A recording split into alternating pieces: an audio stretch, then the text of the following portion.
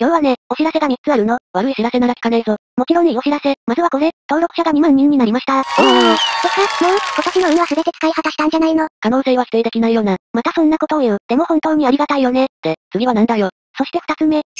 登録者2万人を記念して、新オープニングを広め。かなり変えてきたけど大丈夫かな前の方が良かった。戻してーとか言われたりするかもな。そう言われると切ないわ。それなりに時間かかってるからね。視聴者にしてみや、知らねえよって感じだな。マリサちゃん、今日はいつにも増して毒吐きまくってるね。そうか。まあ、せっかくの記念会だからな。ちょっとだけおとなしくしてやるぞ。ちょっとだけ。最後は何？そして3つ目のお知らせは。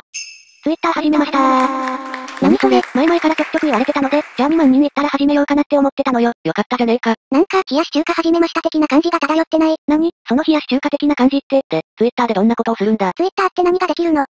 よくわかんない。なんでだよ。よ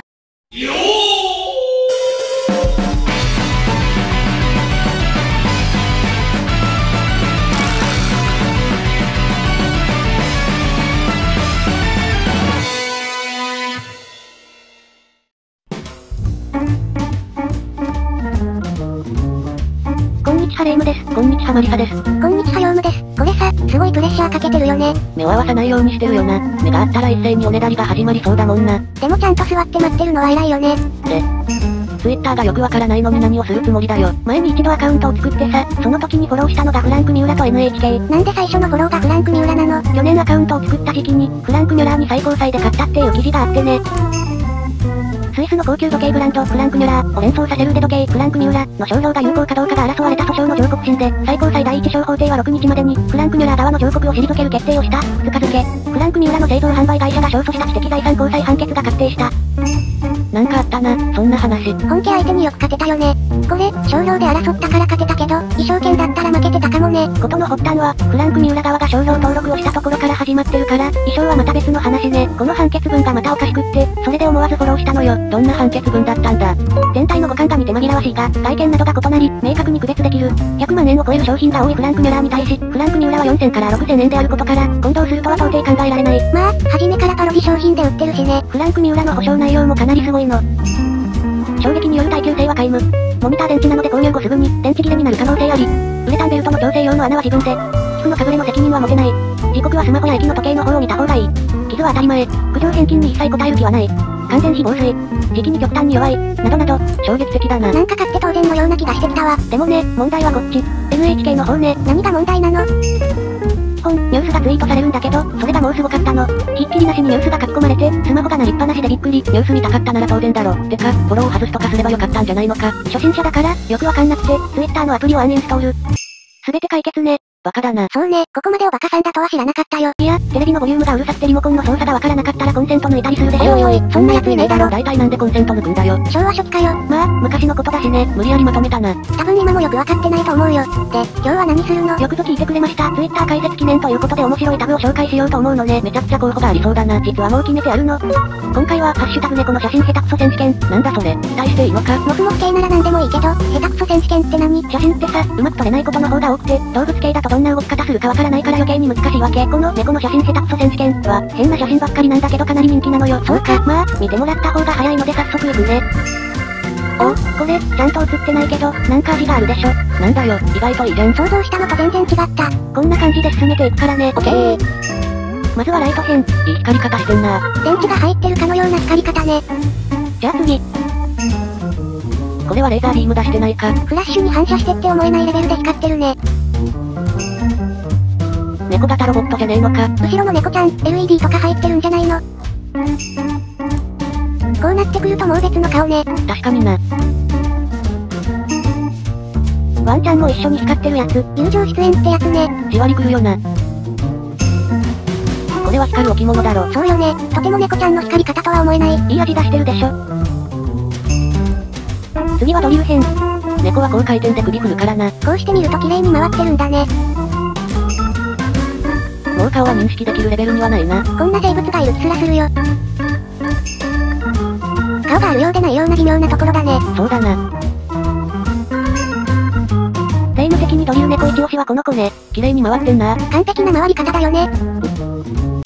いや、ドリル猫ってなんだよ。いや、例えなんですけど、びっくりしたぜ。そんな猫がいるかと思ったぞ。ヨウムも本当にいるかと思ったよ。いるわけないでしょ。安心したぜ。ここからはブレブレの写真。なんかさ、漫画とかで出てきそうな顔じゃない？それな、この垂れ目具合がいいよな。何これ、超可愛いんですけどおう、全く同感だな。必死な感じがよく出てるよな。こんな感じのやつをガンガン行くからね。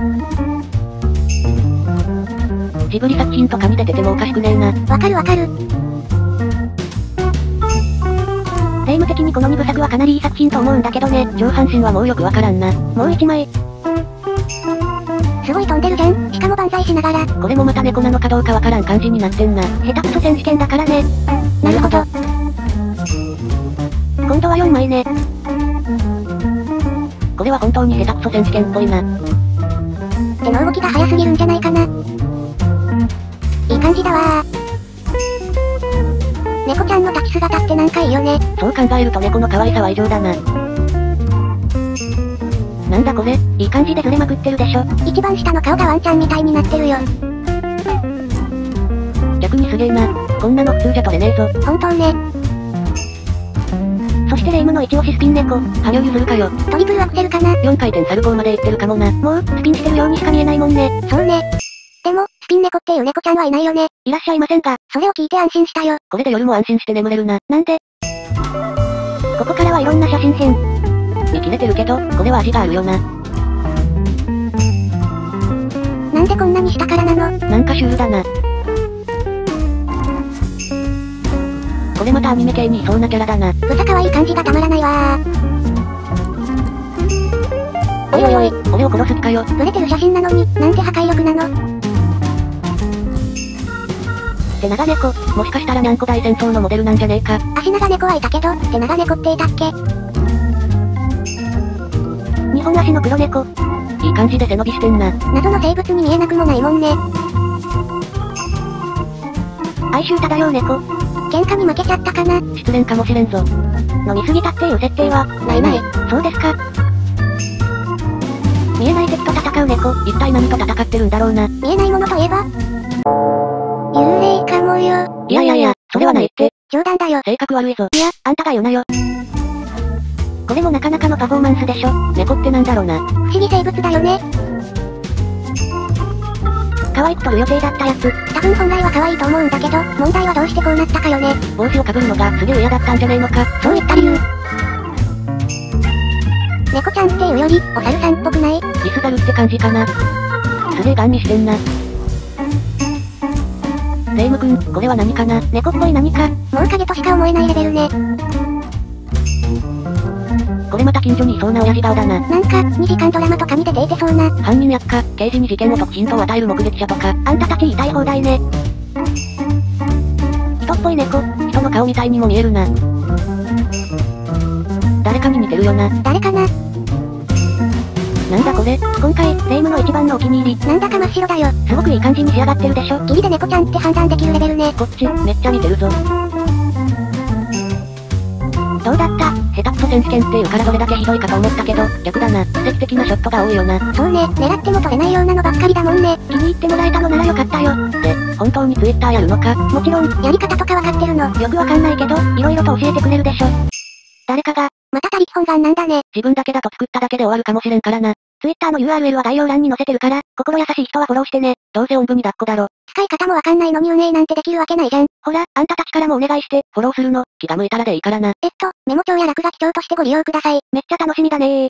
そうですね。